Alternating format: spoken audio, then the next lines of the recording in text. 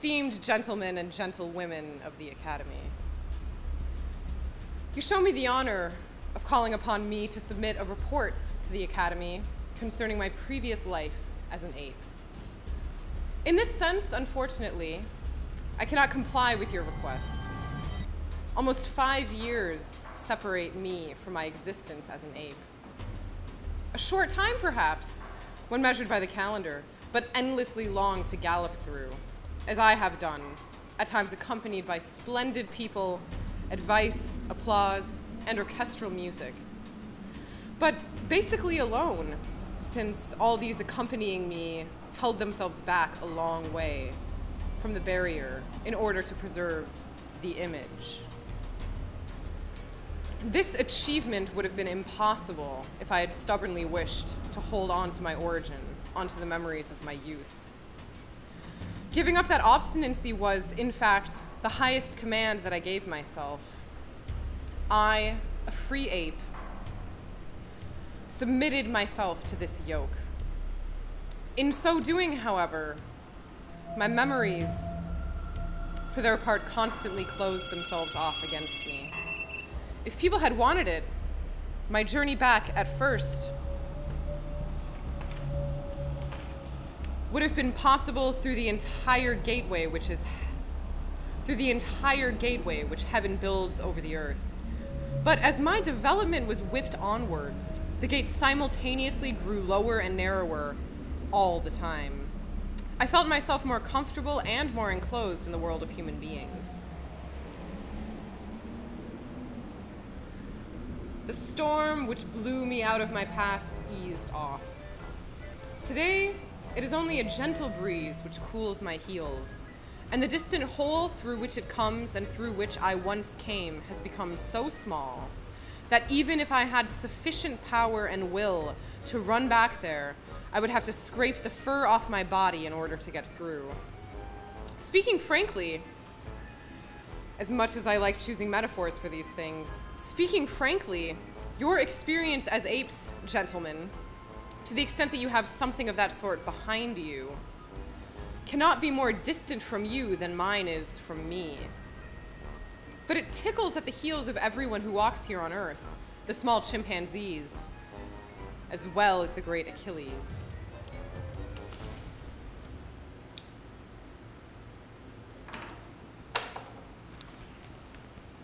In the narrowest sense, however, I can perhaps answer your question nonetheless. And indeed, I do so with great pleasure. The first thing I learned was to give a handshake. The handshake displays candor.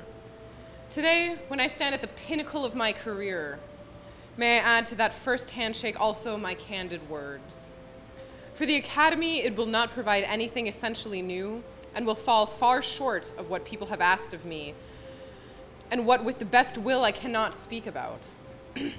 but nonetheless, it should demonstrate the direct line by which someone who was an ape was forced into the world of men and which he has continued there. Yet I would certainly not permit myself to say even the trivial things which follow if I were not completely sure of myself and if my position on all the great music hall stages of the civilized world had not established itself unassailably. I come from the Gold Coast. For an account of how I was captured, I rely on the reports of strangers. A hunting expedition from the firm of Hagenbeck. Incidentally, since then I have already emptied a number of bottles of good wine with the leader of that expedition lay hidden in the bushes by the shore when I ran in the evening in the middle of a band of apes for a drink. Someone fired a shot. I was the only one struck. I received two hits. One was in the cheek. That was superficial. But it left behind a large, hairless red scar, which earned me the name Red Peter. A revolting name, completely inappropriate, presumably something invented by an ape as if the only difference between me and the recently deceased trained ape, Peter, who was well known here and there, was the red patch on my cheek. But this is only by the way. The second shot hit me below the hip. It was serious. It's the reason that today I still limp a little. Recently, I read in an article by one of the 10,000 gossipers who vent their opinions about me in the newspaper that my ape nature is not yet entirely repressed. The proof is that when visitors come, I take pleasure in pulling off my trousers to show the entry wound caused by the scar. That fellow should have each finger of his writing hand shot off one by one. So far as I'm concerned, I may pull down my trousers in front of anyone I like. People will not find there anything other than well cared for fur and a scar from, let us select here a precise word for a precise purpose. Something that will not be misunderstood.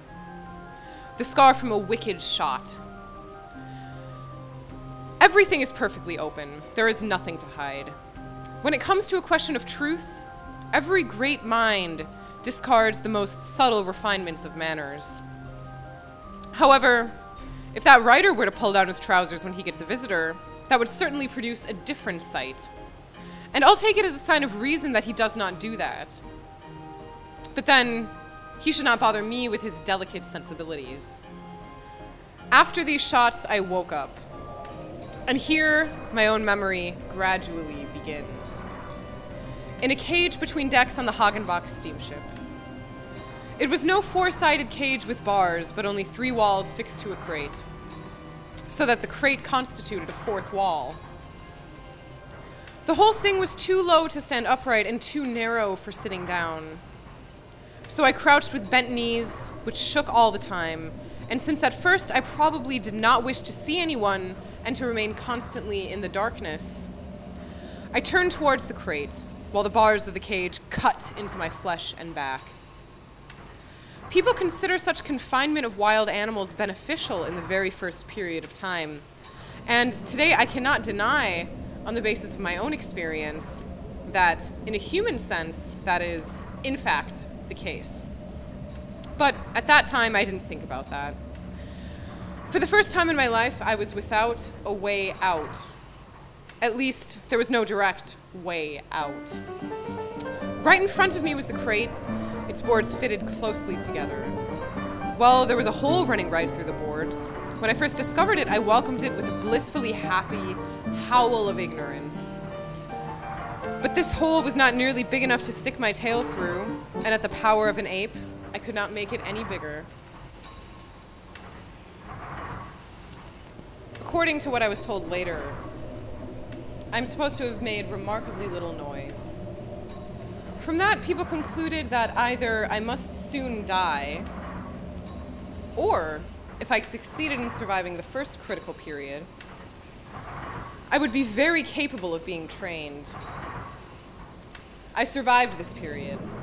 Muffled, sobbing, painfully searching out fleas, wearily licking a coconut, banging my skull against the wall of the crate, sticking out my tongue when anyone came near me, these were the first occupations in my new life.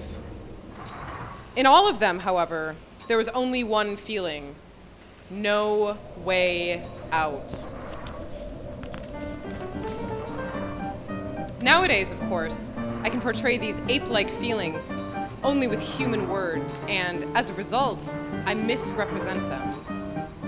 But even if I can no longer attain the old truth of the ape, at least it lies in the direction I have described. Of that, there is no doubt. Up until then, I had had so many ways out, and now I no longer had even one. I was tied down. If they had nailed me down, my freedom to move would not have been any less. And why? If you scratch raw the flesh between your toes, you won't find the reason. If you press your back against the bars of a cage until it almost slices you in two, you won't find the answer. I had no way out, but I had to come up with one for myself. For without that, I could not live. Always in front of that crate wall, I would inevitably have died a miserable death. But according to Hagenbeck, apes belong at the crate wall. Well, that meant I would cease being an ape. A clear and beautiful train of thought, which I must have planned somehow with my belly, since ape thinks with their bellies. I'm worried that people do not understand what I mean by a way out. I use the word in its most common and fullest sense. I'm deliberately not saying freedom. I do not mean this great feeling of freedom on all sides. As an ape, I perhaps recognized it, and I have met human beings who yearn for it. But as far as I am concerned, I did not demand freedom either then or today. Incidentally, among human beings, people all too often are deceived by freedom. And since freedom is reckoned among the most sublime feelings, the corresponding disappointment is also among the most sublime. In the variety shows before my entrance, I've often watched a pair of artists busy on trapezes high above the roof. They swung themselves, they rocked back and forth, they jumped, they hung in each other's arms. One held the other by clenching the hair with his teeth. That too is human freedom, I thought. Self controlled movement. What a mockery of sacred nature. At such a sight, no structure would stand up to the laughter of apes. No, I didn't want freedom, only a way out. To the right or the left or anywhere at all. I made no other demands even if the way out should be only an illusion. The demand was small, the disappointment would not be any greater. To move on further, to move on further. Only not to stand still with arms raised, pressed into a crate wall. Today I see clearly that without the greatest inner calm, I would never have been able to get out. And in fact, I probably owe everything that I have become to the calmness which came over me the first few days there on the ship. And in turn, I owe that calmness to the people on the ship. They are good people in spite of everything. Today, I still enjoy remembering the clanging of their heavy steps, which used to echo in my half sleep. They had the habit of tackling everything extremely slowly. If one of them wanted to rub his eyes, he raised his hand as if it were a hanging weight. Their jokes were gross but hearty.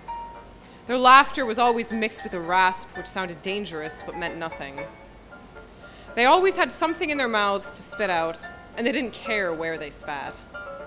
They always complained that my fleas sprung onto them, but they were never seriously angry at me because of it. They even knew that the fleas liked being in my fur, and that fleas were jumpers.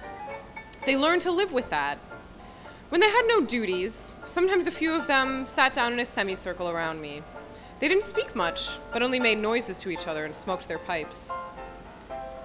Stretched out on the crates, they slapped their knees as soon as they made the slightest movement. And from time to time, one of them would pick up a stick and tickle me where I liked it. If I were invited today to make a journey on that ship, I would certainly decline the invitation. But it's equally certain that the memories I could dwell on of the time there between the decks would not be totally hateful. the calmness which I acquired from this circle of people prevented me, above all, from any attempt at escape.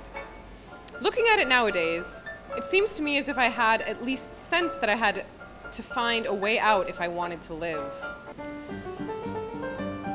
But that this way out could not be reached by escaping. I no longer know if escape was possible, but I think it would have been. For an ape, it is always possible to flee. With my present teeth, I have to be careful even with the ordinary task of cracking a nut. But then I must have been able, over time, to succeed in chewing through the lock of the door.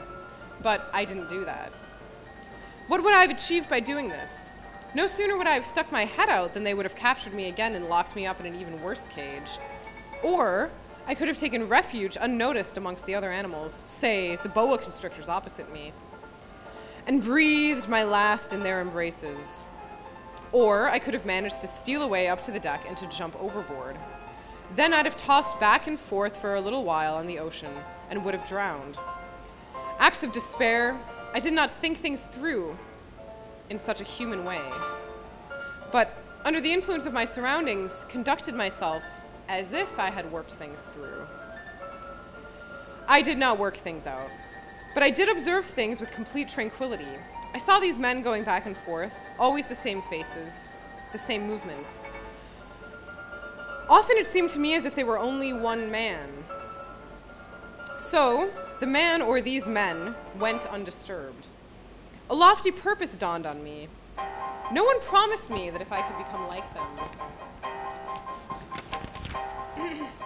The cage would be removed. Such promises, apparently impossible to fulfill, are not made. But if one makes the fulfillment good, then later the promises appear precisely there where one had looked for them earlier without success. Now, these men in themselves were nothing which attracted me very much. If I had been a follower of that freedom I just mentioned, I would certainly have preferred the ocean to the way out displayed in the dull gaze of these men. But in any case, I observed them for a long time before I even thought about such things. In fact, the accumulated observations first punched me in the proper direction. It was so easy to imitate these people. I could already spit on the first day. Then we used to spit in each other's faces. The only difference was that I licked my face clean afterwards. They did not.